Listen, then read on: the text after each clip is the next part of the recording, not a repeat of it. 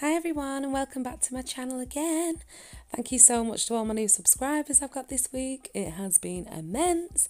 So yeah, thank you very much. So today my gorgeous client Kaz has come back in and we've removed the four nails that were hanging on for dear life because she came in after six weeks this time because a little girl got chicken pox on a four weekly appointment. So yes, and with holidays and kids being off, it's it's so hard to juggle. So yeah, we just decided to remove the four nails that were hanging on and go in with a fresh new set. So I've removed the nails. I have done all the prep work, pushed back cuticles, gone in with my e-file on a low speed with my cuticle bit and just taken away all the non-living tissue that was sat around the nail folds. And then we've etched the nail dehydrated and now I'm just going in with a nice thin clear base with crystal glass. And I'm also using the one monomer the new monomer by CJP which is primerless. And I'm using the Liz Guild brush so I'm just making these nice and thin ready for design to go on top of and again keep it really thin because you don't want to add bulk because you're going to add design on top of this and then cap in crystal glass as well. So I'm also using the CJP light pink butterfly forms. They're the best forms I've ever used. So yeah, I'll put everything in the description box below, but everything that I do use is CJP. So yeah, I'll just let you watch.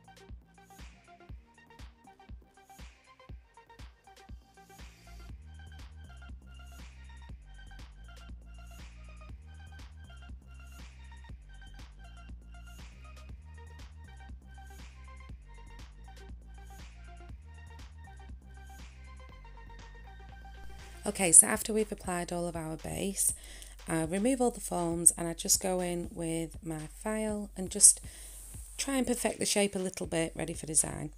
So we're going to go in with a really nice, it's a very pretty set this. It's her engagement party in a few weeks, so she wanted something to match a dusky rose, goldy, pinky coloured dress. It's gorgeous. So we decided to go in with a classic ombre using um, a pink and white so on the pinky, we've just gone in and done an ombre. You've watched me do that so many times, and if you haven't already, I do have videos previous where it's a little bit more in depth. I just cut it out for this video because you've watched me do it loads of times. So on the ring finger, we're going in with a reverse French. So with the reverse French method, I always like to place my bead where I kind of want the end of the smile line to go, if that makes sense. Uh, flip my brush round and pull it back towards the cuticle at the back of the bead, making it nice and flush. And then using the sides of my brush just to perfect the shape of the smile line. And then I go in with a second bead at the cuticle area, tuck all that in and make it nice and neat, and then pull it over the rest of the bead, the previous bead that we put on to smooth everything out. So I do go back in and perfect these smile lines, just making that wall a bit crisper with my hand file when it's all dry at the end before I place on anything at the tip. And in the middle finger, we do a glitter fade. So we go in at the cuticle with my nice cover pink. This is Birthday Suit. It looks a bit darker actually on this. So I'm just going in with that at the cuticle and bringing it down. Tucking it in nicely again with all the tip of my brush and then using the belly of the brush just to pull that product down towards the free edge.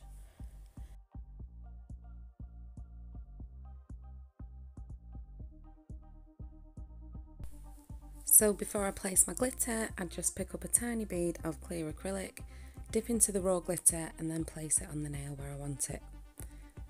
So just using the tip of the brush really gently, especially for these gorgeous chunky mixes because they can be a bit of a nightmare to manipulate on the nail.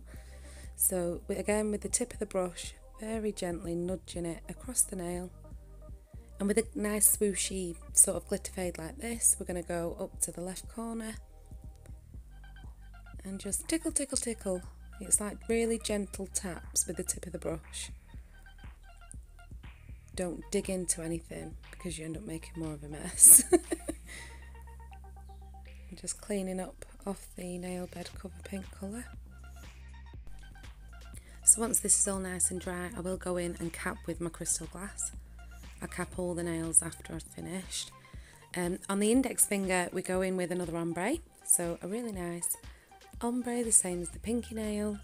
And then on the thumb, we do a full glitter nail of this beautiful rose gold. So I'll just let you watch the rest of this and I'll be back.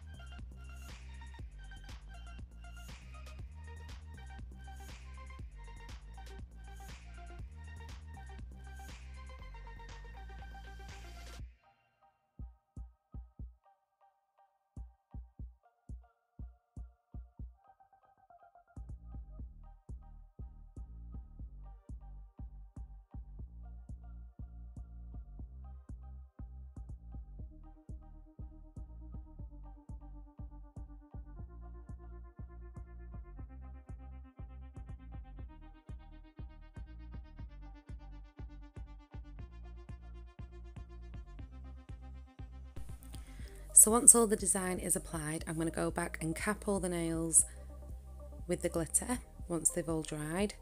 Sometimes I do get a bit um, impatient and I go into cap straight away after applying the glitter and the glitter just goes everywhere. So yeah, let it dry. it's definitely a lesson I've learned.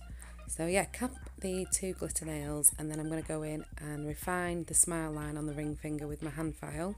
So I'll just come in and push my file against the wall of the smile line just to perfect all the shape and then we'll go in with a little bit of a glitter clear tip. So I'll just let you watch.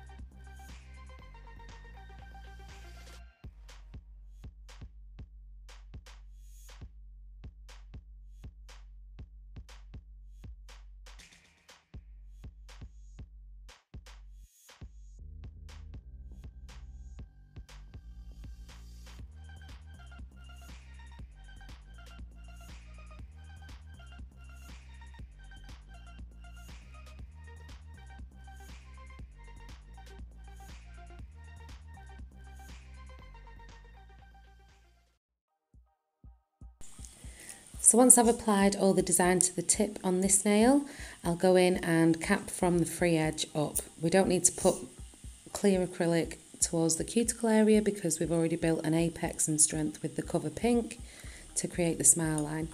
So I'll just let you watch the rest of this.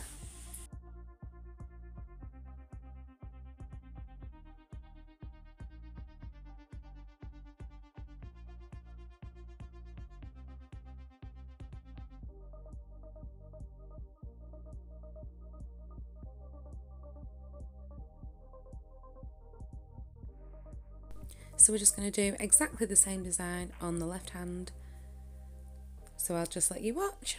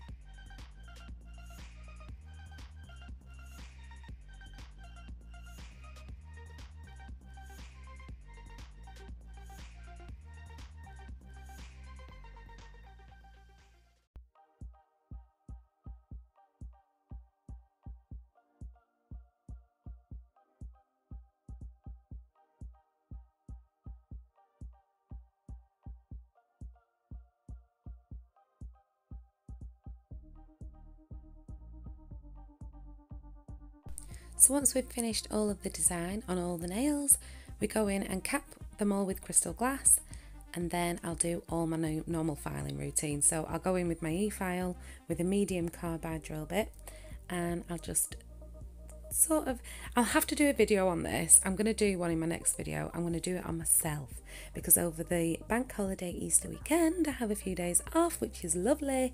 So that's the chance I'll get to do my own. So um yeah I'll do a video on how I use my e-file to do all my finish filing and things like that and some prep. Um so yeah, I get all that done and then we go in with my hand file, do all my finish filing and refining with that for my shape after I've used the e-file and then I'll go in with some beautiful shiny top gloss. So this is the tack free top gloss by CJP and these will go in my LED lamp for 60 seconds to cure and then I'll let them cool and add cuticle oil. So I'll just let you watch the end of this video. But before I go, I just want to say again, thank you so much for watching. And if you haven't already subscribed, I would love it if you would. And yeah, until my next one, guys, I can't wait. Bye, everyone.